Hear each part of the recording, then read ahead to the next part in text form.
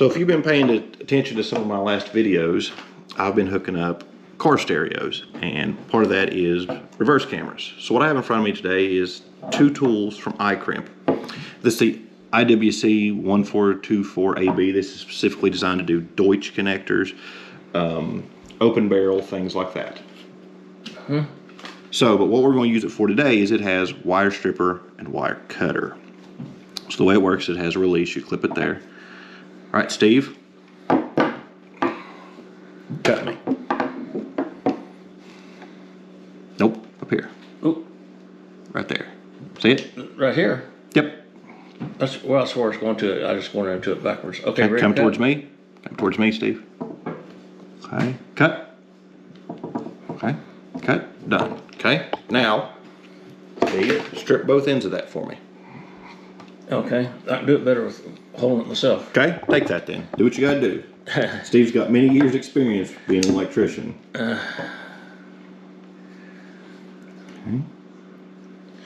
Are we going to put a crimp on fitting on this?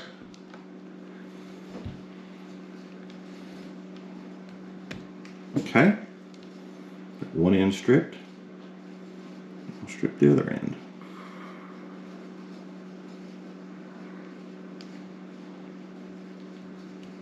Okay. So some things I like about the iCrimp is it, you can't really see it here because it is chromed, but it is labeled what the wire strength is, wire gauge is.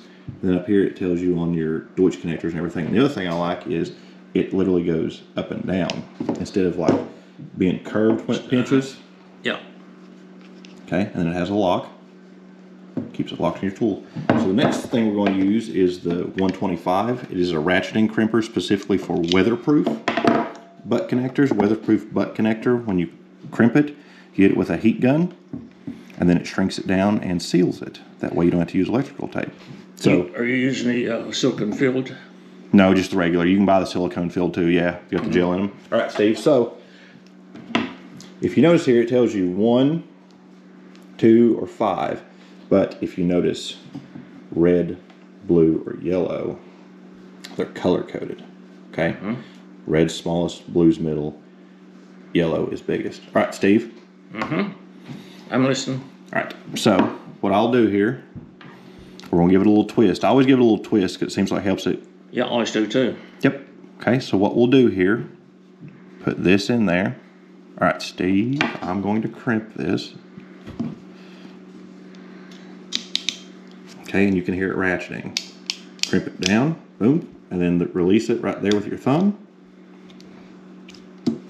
Okay. Now we'll put the other end in here. Yes, this is a little bit wasteful, but one butt connector and this little, what, foot and a half of wire isn't gonna break my pocket. So we'll put it back in. Like I said, blue, blue. Very, very simple. Okay.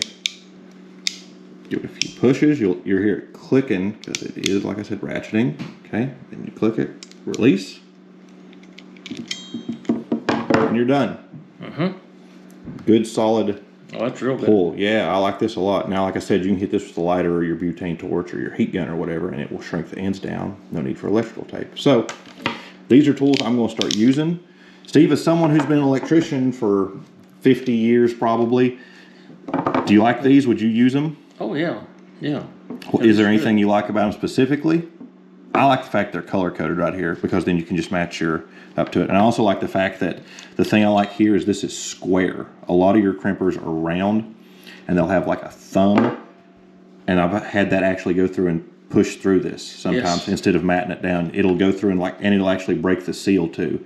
And then mm-hmm. your connector and your wire, you have to cut it off and reuse it. But I like the fact these are flat. Mm. And it's more of a push instead of like a puncture. Anything on those, Steve?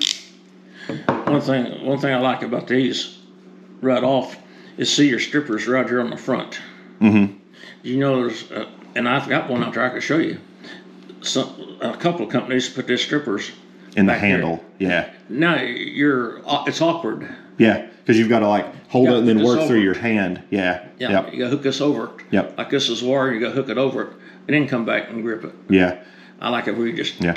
I like the fact that it has. I've got several set of wire connector or wire cutters, whatever, that don't have a catch So then you're in your drawer like this or in your toolbox catching other stuff. That mm-hmm. little, that, and then where this ratchets holds itself. Yeah, To me, that's a really strong feature of these. I also like the fact they got a good grip on them. yeah, So, and they've got a little bit of weight to them too. those are good. Yeah, mm-hmm. I like these a lot. You'll be seeing them in our videos going forward because I'm going to be doing a lot more car stereo installs. So this is just a quick little video to show you how these two tools work.